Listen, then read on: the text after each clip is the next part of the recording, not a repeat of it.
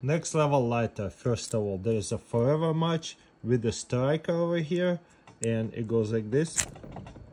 Get a good strike and we got a actual match on fire and a lighter fluid burning off from it.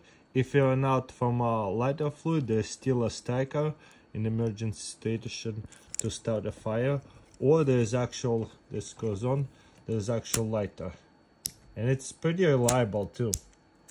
This reminds me of one of those trench lighters designs. Boom. That's a nice flame. Light up candles, whatever.